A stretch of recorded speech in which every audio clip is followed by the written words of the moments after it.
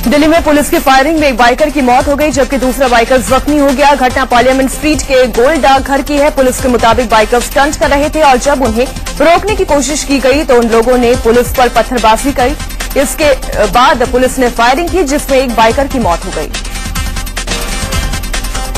Central Delhi में police firing में biker की मौत के बाद दिल्ली पुलिस सवालों के घेरे में है। लोग दिल्ली पुलिस की थ्योरी पर सवाल उठा रहे हैं। लोगों का कहना है कि जब बाइकर्स स्टंट कर रहे थे तो उन्हें रोकने की कोशिश क्यों नहीं की गई? क्या गोली चलाना ही आखिरी रास्ता बचा था। इंडिया न्यूज़ ने नोएडा पुलिस के काले सच का पर्दाफाश किया है। इंडिया न्यूज़ ने ऑपरेशन यमदूत में दिखाया कि किस तरह पुलिस वाले हादसे के शिकार लोगों को उन्हीं अस्पतालों में ले जाते हैं जहाँ से उन्हें कमीशन मिलता है। ऑपरेशन यमदूत में खुलासा हुआ है कि अगर घटनास्थल के करीब कोई अस्पताल हो तो पुलिस वाले वहाँ लोगों को भर्ती नहीं कराते। हादसे के शिकार लोगों को सिर्फ़ वहीं ले जाया जाता है जहाँ से कमीशन मिलता है। चाहे वो कितनी ही दूरी पर क्यों ना हो।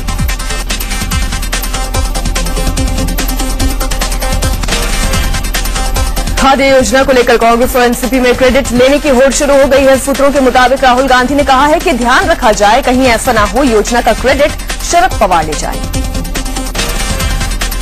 शनिवार को कांग्रेस उपाध्यक्ष राहुल गांधी ने दिल्ली में हर प्रदेश के पार्टी अध्यक्षों और विधायक दल के नेताओं के साथ बैठक की। बैठक में राहुल ने इस बात पर ज़ोर दिया कि फ़ूड सिक्योरिटी बिल को ज़्यादा से ज़्यादा प्रचारित किया जाए। फ़ूड सिक्योरिटी बिल पर अध्यादेश लाने वाली कांग्रेस को मायावती का समर्थन मिला है। बीएसपी सुप्रीमो मायावती ने कहा है कि उनकी पार्टी संसद में फ़ूड बिल को समर्थन देगी। गरीबों की थाली को लेकर कांग्रेस और बीजेपी के बीच सियासी घमासान जारी है। लखनऊ में बीजेपी की महिला मोर्चा ने प्रदेश अध्यक्ष की अगुवाई में केंद्र सरकार के खिलाफ विरोध प्रदर्शन किया। कांग्रेस नेताओं के गरीबी गरीबों की थाली को लेकर दिए गए बयान पर देश भर में विरोध का दौर जारी है। फैसलाबाद में बकायदा सोनिया मनमोहन नाम से एक ढाबा खोल दिया गया है। यहाँ राज बब्बर थाली का रेट बारह रुपए रखा गया है।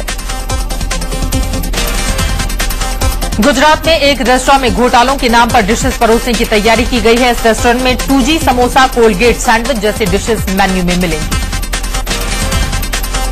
अब मोदी के नाम पर मोबाइल भी लॉन्च होने वाला है। स्मार्ट नेमो ब्रांड नाम से ये एंड्रॉयड फ़ोन नरेंद्र मोदी के फैंस का एक ग्रुप लेकर आ रहा है।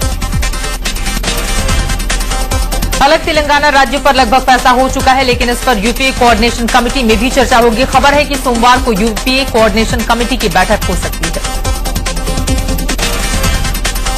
अलग तेलंगाना के विरोध में आंध्र और रायलसीमा के मंत्रियों ने कांग्रेस अध्यक्ष सोनिया गांधी को चिट्ठी लिखकर कहा है कि अगर राज्य का विभाजन किया जाता है तो वह इस्तीफा दे देंगे। सूत्रों के मुताबिक आंध्र प्रदेश और तेलंगाना में 12-12 ज़िले होंगे। राजधानी को लेकर तनाव न हो, इसीलिए तय किया गया है कि हैदराबाद को यूनियन टेरिटरी का दर्जा दिया जाए और इसे दोनों ही प्रदेशों की राजधानी घोषित की जाए। बीजेपी के वरिष्ठ नेता लालकृष्ण आडवाणी ने 2014 से पहले लोकसभा चुनाव होने की भविष्यवाणी की है। उन्होंने कहा है कि इस चुनाव में बीजेपी सारे रिकॉर्ड तोड़ देगी। आरजेडी सुप्रीमो लालू प्रसाद यादव ने राहुल गांधी की तारीफ़ करते हुए लालकृष्ण आडवाणी और मोदी पर जमकर निशाना साधा। लालू ने कहा कि नरेंद्र मोदी और आडवाणी ज़िंदगी में कभी भी देश के प्रधानमंत्री नहीं बन सकते।